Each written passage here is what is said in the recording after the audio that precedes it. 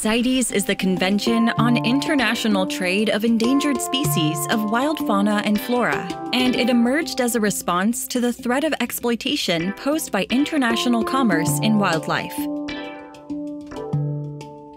It is one of the oldest and most important multinational agreements regarding the protection of wild flora and fauna. It is important to note that entire economic sectors depend on the trade of wild flora and fauna, which is why not all trade is prohibited.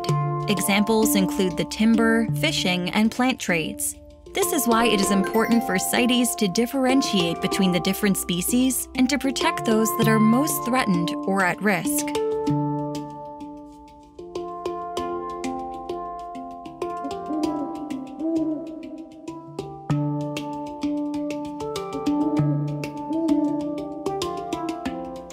Despite the efforts of governments and the support from non governmental organizations, the trafficking of flora and fauna persists globally.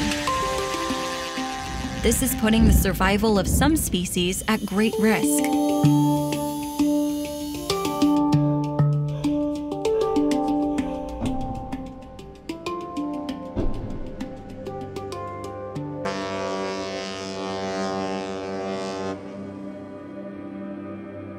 Each year, wildlife trafficking reports up to $23 billion in sales.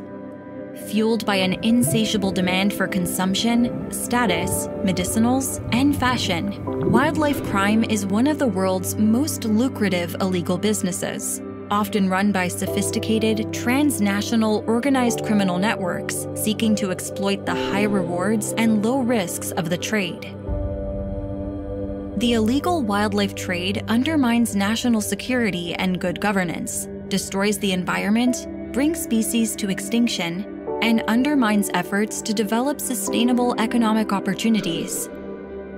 Unregulated wildlife trade also compromises human health, as it can lead to the spread of zoonoses, which are diseases transmitted from animals to humans, such as SARS CoV 2, the cause of the COVID 19 pandemic.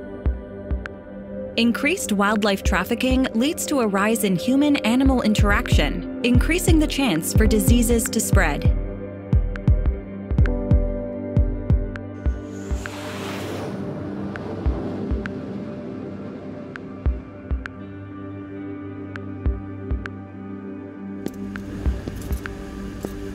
The men and women serving as frontline detection and enforcement authorities, such as police officers, custom officials, and other enforcement officers, are key in regulating the legal trade and detecting and dismantling the illegal trade in wild flora and fauna. They have the faculty and power to inspect and verify CITES permits and certificates, and to check all of the requirements to prevent illegal flora and fauna trafficking.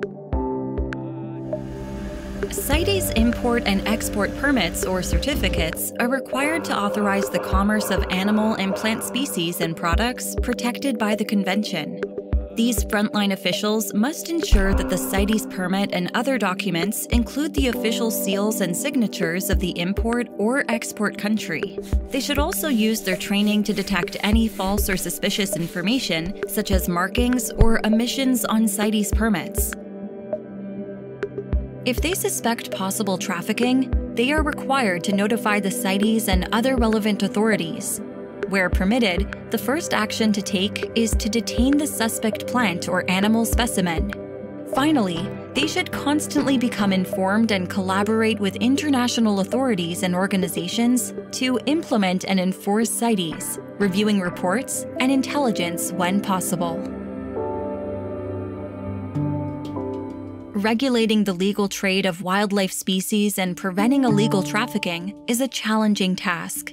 The inspection and enforcement authorities on the ground should be proud of their work, as they are the key to stop trafficking at a global level.